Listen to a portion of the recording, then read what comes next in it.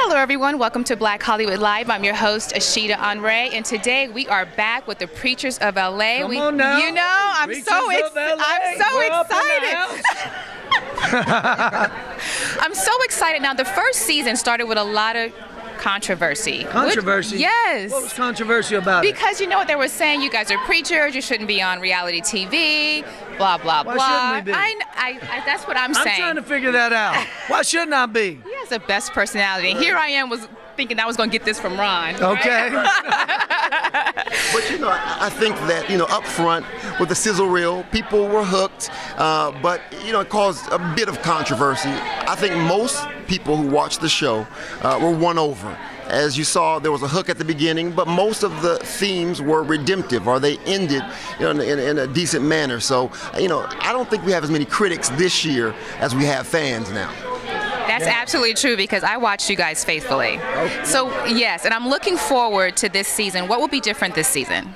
Well, this season for all of us, I know for uh, I think would be kind of the same, but for me personally, you're going to see you're going to see me dealing with things in a little bit more transparent way. I'm going to let you come a little deeper into my house, into my family. Uh, unfortunately, you know, preachers are like everybody else. We f- face challenges, face challenges, relationships, families.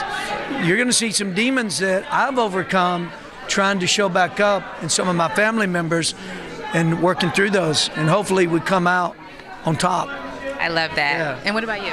Uh, you'll see, uh, I think there's a similar theme or thread that runs through the fabric of all of our lives and stories, and that is our family. Last year, you got a chance to meet us, to see who we were as individuals, but our broader family is going to be introduced this year, and uh, I don't think you're ready for them. We all have relatives that, that we're a little concerned with. Uh, you're going to meet them this year. And nobody's got a perfect family. You know what I'm saying? Just because you're That's true. Just because you're ma- Yours not mine. My- Mi- mi- listen, mine was. I, I did a research on my family tree, and I found out there's a little sap in every family tree. That's right. That's right. So, what is most fun about filming with the whole group? Can you give us a little snippet on what's going to be exciting about the whole group coming together? Because there's so many different dynamics with you. You guys are all different.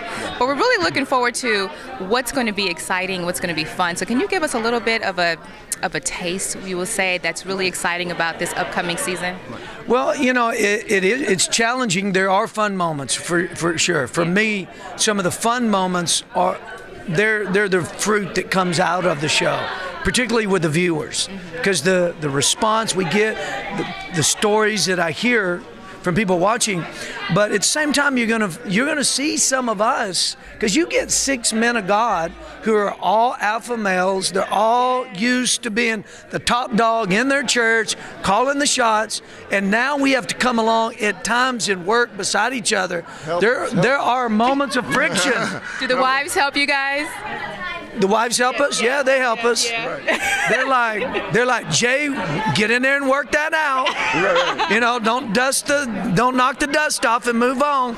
Work that out. So do the right thing. Yes, they definitely push us to do the right thing. Without question, we would not be who we are without our wives. Now, I did get some heat up front for the way I was loving my wife. Now, I don't understand. People. You know what? I'm sorry to cut you off, but I do remember that. I was like, yeah, you seem a little, you know, sexual. I mean, and now, now, here's the deal. Listen, we are saved, truly sanctified, and sexual. We're trying to bring sexy back to Christianity. If people have a problem with me in the church, they need to go read the Song of Solomon. Are you with me? yeah, Song of Solomon got some stuff in there, there's some, man. There's some serious stuff in there, all right? They, they, they need to understand that. The other thing is, you know, again, there's so many examples of, since we're, you know, where we are, you know, young black relationships that aren't as positive on television.